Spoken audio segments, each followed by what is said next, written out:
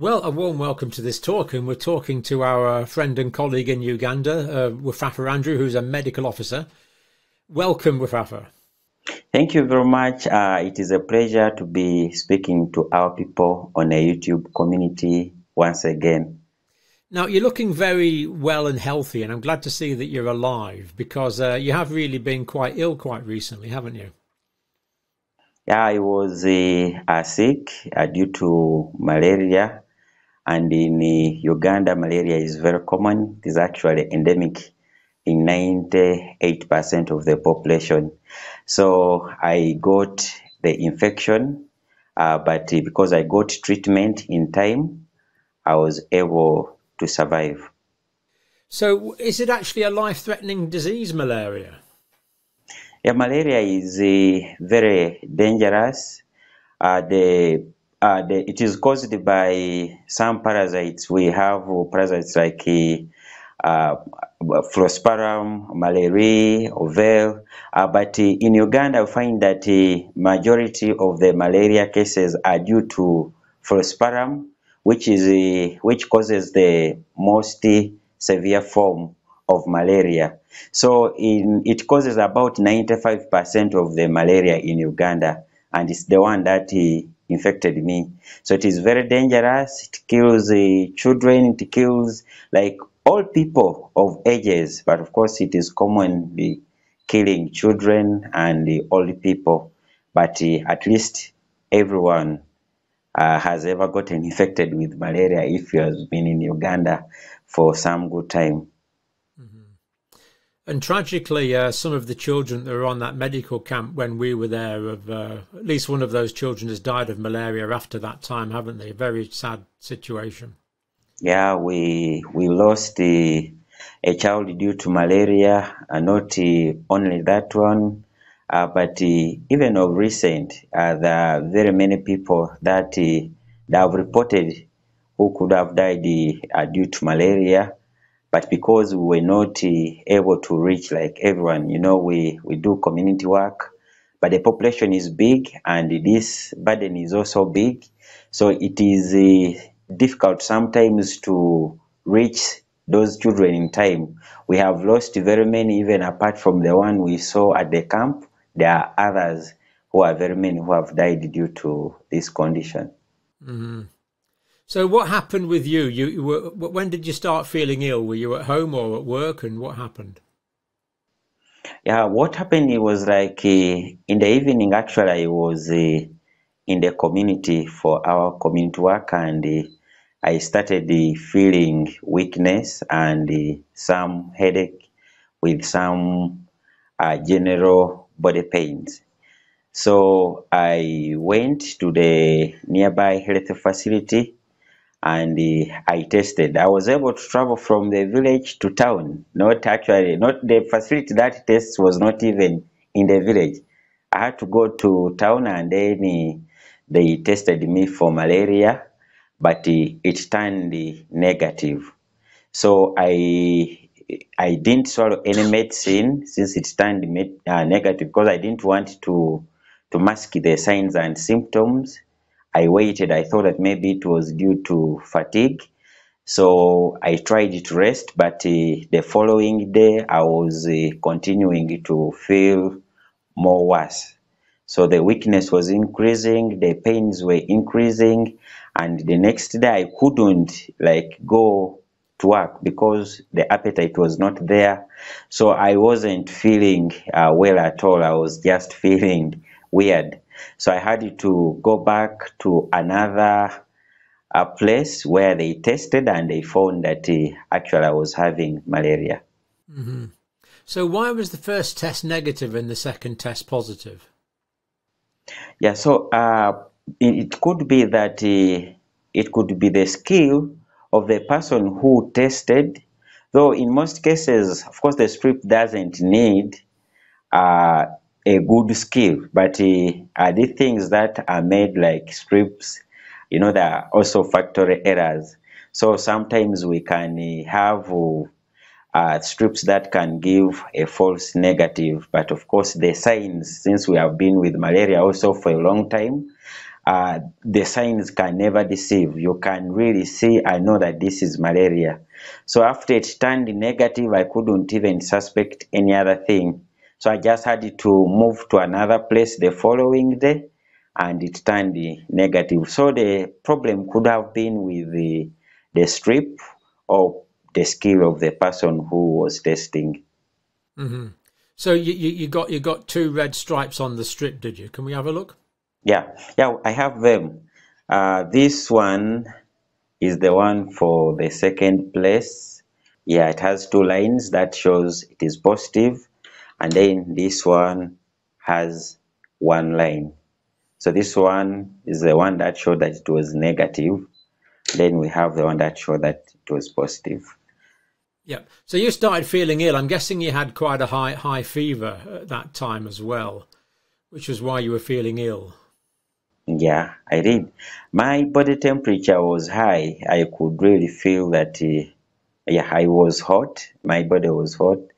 Uh, generally, the, the, the thing is, uh, when malaria comes, it, to many people it looks like simple, but it is something that is very weird it just messes you up. You can't understand yourself, and in a very short time, and the rate at which it progresses to worsen is very dangerous.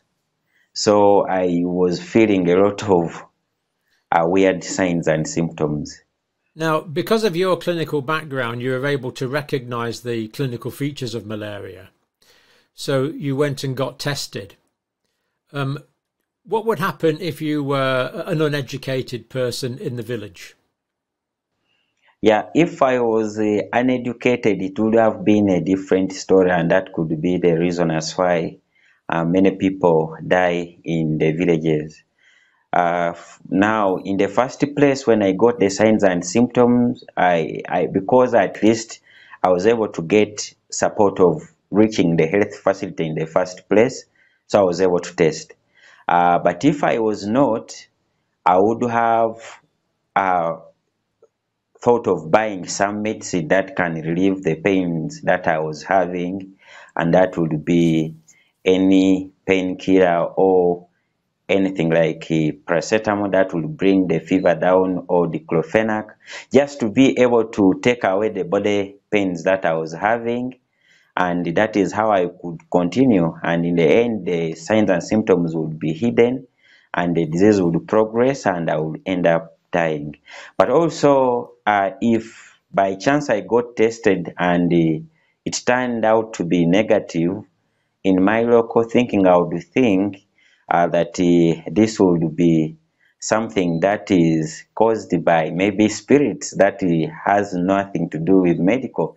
Because when the result turns negative in most cases what people do uh, they resort to to the med uh, to the traditional ways uh, of treating.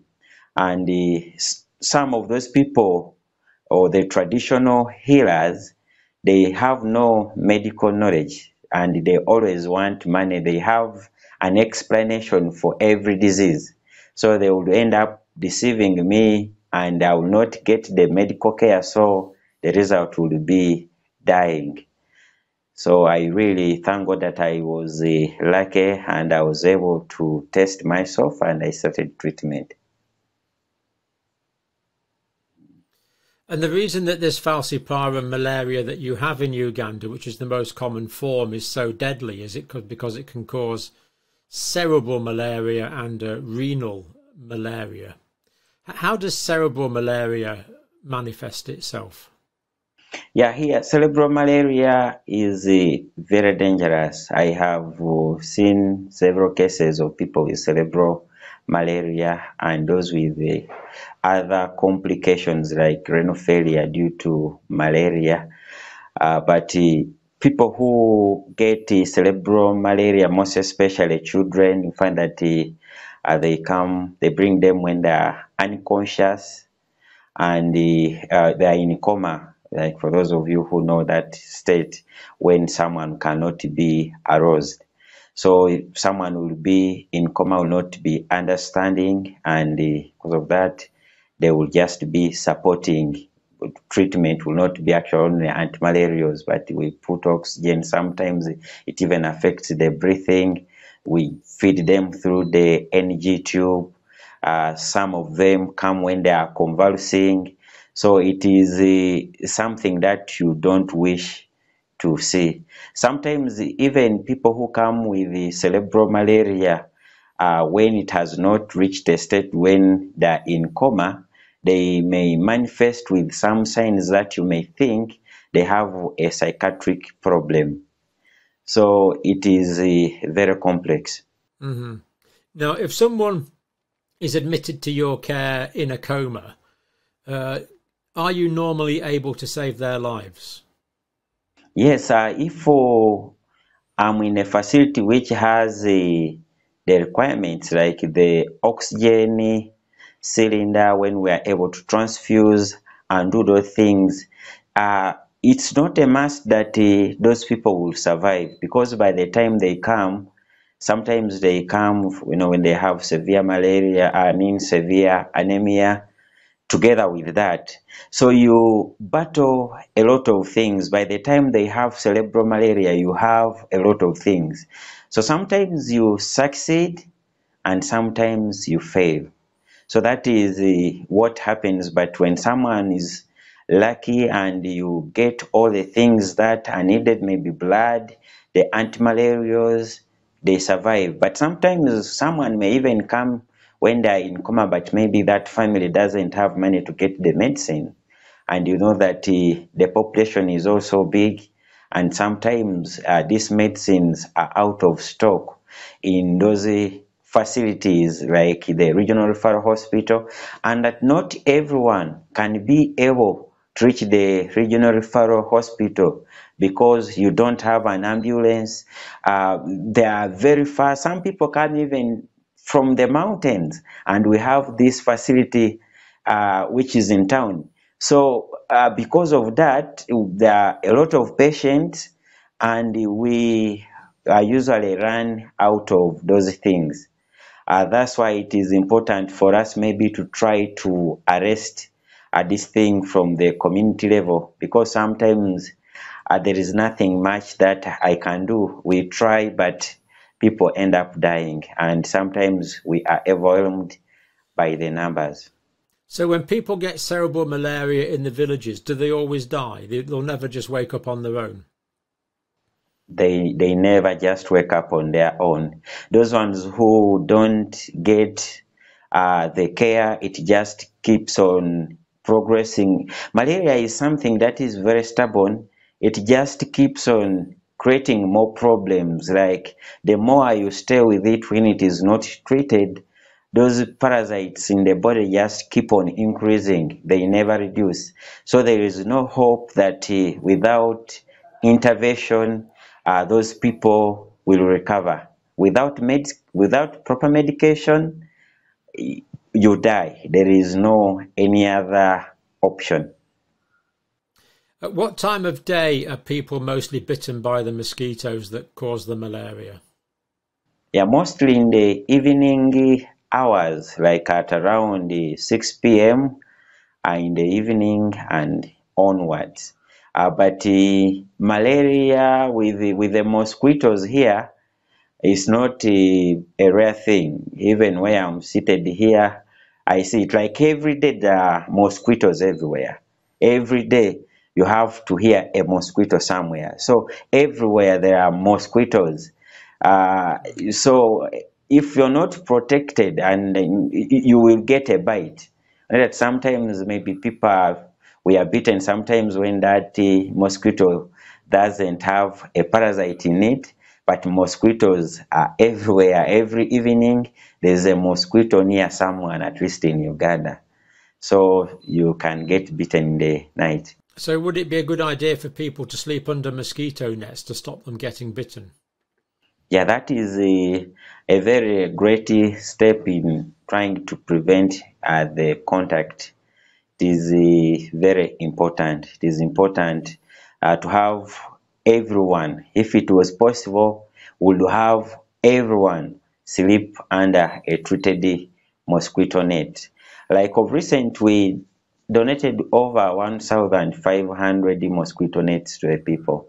Uh, in the villages where we donated, at least it has helped, but of course we were not able to donate to everyone because we didn't have enough supply. Uh, but uh, we have a lot of people. We try to give at least every household, though some missed, but we just gave one per house. But now you find a house uh, has uh, sometimes like 10 people, 15 people, five, uh, they have children, old people. So one cost will try to help, uh, but it can't address everything. So we do that as we also wait uh, for the government maybe at a certain time they may also come in uh, but uh, we want to save uh, people with what we have so right now on top of the mosquito net uh, we are trying to just teach them generally about malaria and some of other preventive measures that uh, people can adapt apart from just using the mosquito net.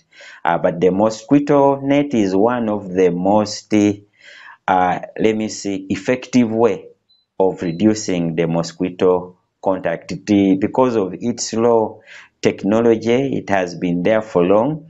At least it's not complicated. Everyone knows how to use it. You can teach them and they know how to use it well. So it is very good. So we can prevent malaria with mosquito nets, and and uh, our project must have saved many lives because of the mosquito nets. I would think. Yes. But if people still get malaria in the villages, how long is it from when they get the first symptoms of malaria until they go into coma? Uh, so in most cases, it also depends on a person. Uh, like now, for me, I think, I don't know, because of exposure, it doesn't really progress very fast. Uh, but different people have different uh, levels of immunity. So it varies. Uh, for me, I've not been in coma myself because at least I'm able to treat in time. Uh, but those ones that I have seen, in most cases, it doesn't exceed, it doesn't exceed uh, like two weeks. So if uh, they start feeling the signs and symptoms, within one week, they will be bedridden. They will be having some other uh, complications. But in the second week, that's when you find them in coma. So this, this, this first week really is a window of opportunity to treat the malaria. Can we treat it with simple oral anti-malarial medication at that stage? Yeah, malaria, if detected in time and you start treatment, you have a chance of not getting even uh, of not getting like bedridden. There's a very high chance if you detect immediately. That's why we teach these people to know the signs and symptoms and everything. Because in, for me, when I get malaria, I will know when I just get one sign, I'll know that this must be malaria. And when you go and test, it is positive. So in most cases, apart from last time where it first turned negative and I had to move in the next day without treatment, uh, that is when I even had to go down, not to go to work. But on the first day when I started feeling the signs and symptoms, if it had turned negative and I got treated, the second day I would have gone for work. I would not have gone, I would not have been bedridden. And if people in the villages take paracetamol, which is the same thing as acetaminophen, will that disguise the symptoms of malaria and allow the disease to get worse? Yeah, it does. And uh, the the funny part of malaria is that uh, those signs are not like constant; they are intermittent.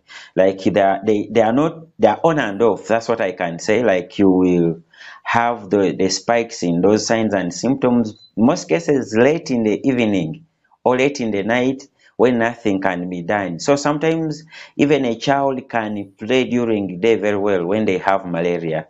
And then at night, they get those signs and symptoms.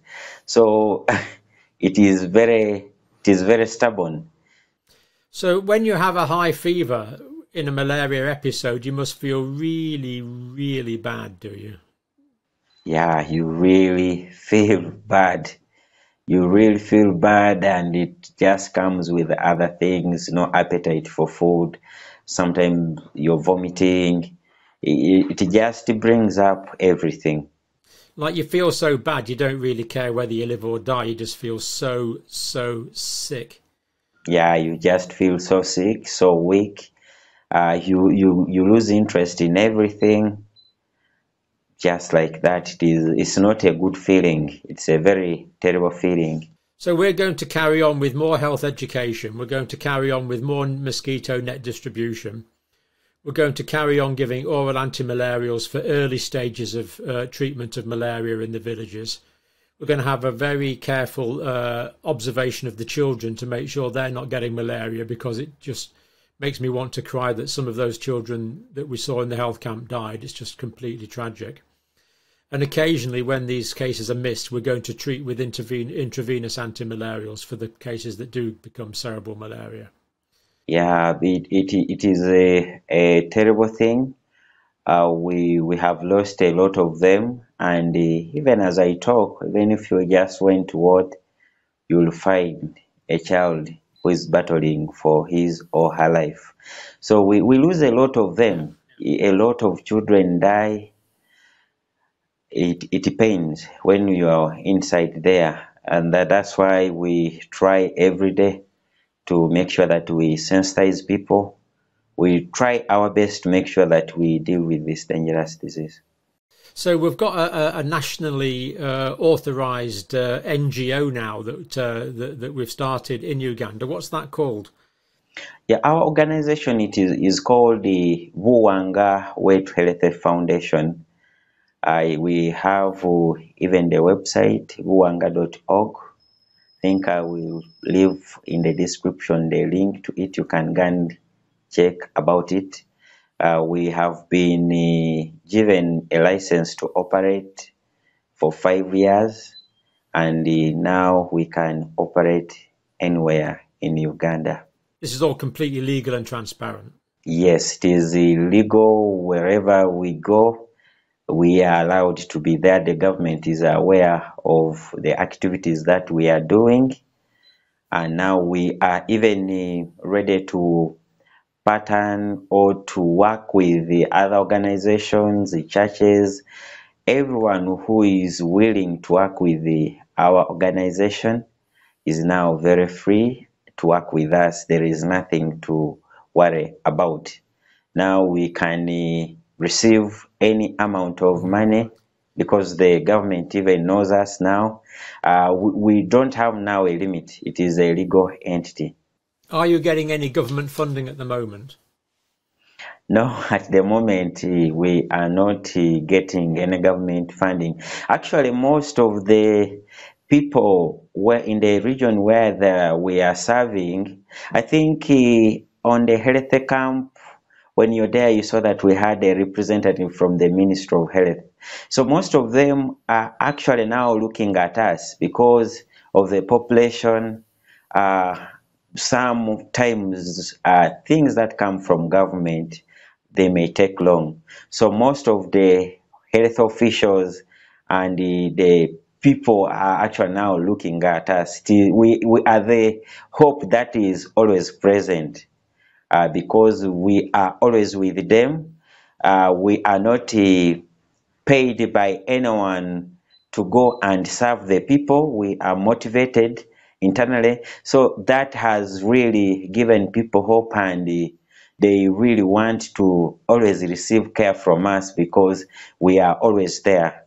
Uh, but sometimes when you are just employed or maybe a government worker, it sometimes to some people it is not uh, something that is at heart. You know, you go get paid to go and see those ones who are able to come to the health facility.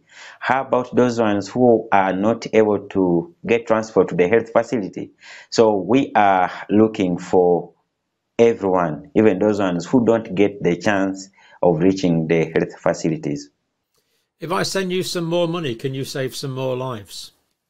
Yeah, if you did, a lot of lives can be saved, uh, just like you've seen in the past. We always have a lot of people. Actually, the thing is resources.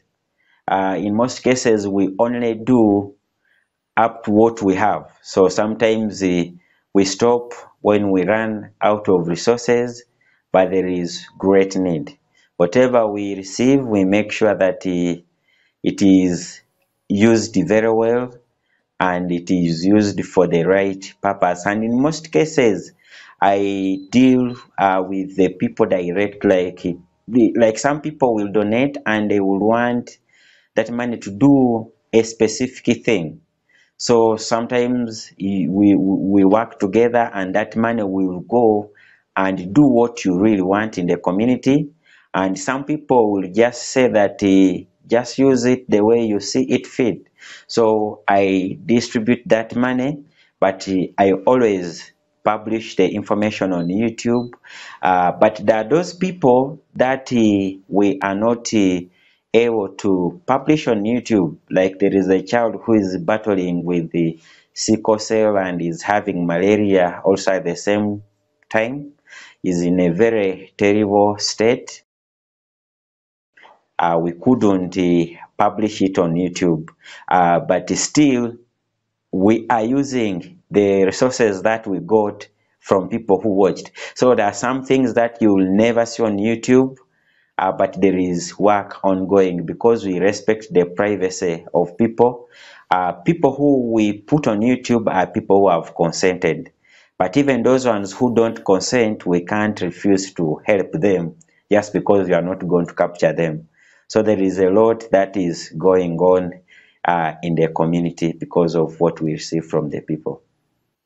This partnership that's made Buwanga possible has come from YouTube and the, the work we've done together. I think that's how it started. So this is one of the really positive things to come out of YouTube, I think. Yeah, it is really good. It has been able to connect us, people from different places. Yes, there are other bad things, but at least that one, uh, with the work that is already going on in the community, we have the milling house, going on. We have a lot of things on ground just because of the people who came through YouTube. So I'm really grateful. And I'd just like to say to everyone, I had the privilege of working with Wefwafwa last uh, September. Last September, wasn't it, Wefwafwa now? And um, I, I, I know that the I, I, I know that the medicine is well practiced, and I know that all of the resources go to where they're supposed to go. So, Wefwafwa, I'm delighted that you're better from your malaria. Is that you? Are you cured now? It won't come back. You're completely cured.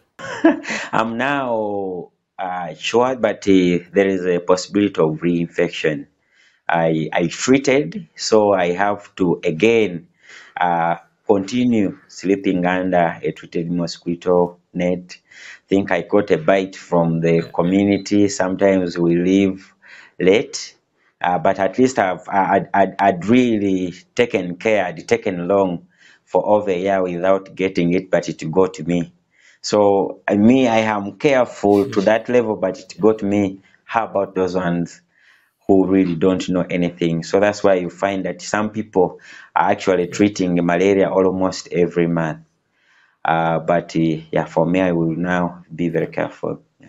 And of course, the children are at particular risk. Who is the well, we're trying to help everyone, but to save the lives of children is, is a particularly good thing to do. Yeah, children are a priority because in most cases they don't know what to do, and you know, you can't tell them to adhere to something. Sometimes they play from out, outside until late, and you can't stop them from uh, playing. Uh, but uh, we are trying to design all materials to uh, favor these children and even adults. Soon we are going to enter even schools uh, where we are going to design programs for teaching these children such that we have everyone on board.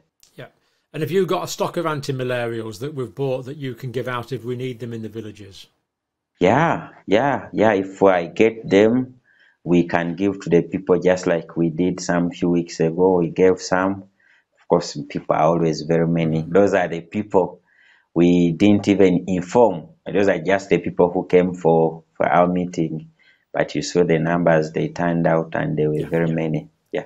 Okay, Fafa, I'm glad you're so much better. Uh, thank you for telling us about your personal suffering. It's um, but it's something that I really think can be used to help uh, many people and anyone watching this video, of course, can get involved uh, in any way that they like. They can communicate with you, they can donate, they can subscribe to your channel, click like on the videos. All these things help. Yeah, they Thank do. Thank you for watching. You're welcome.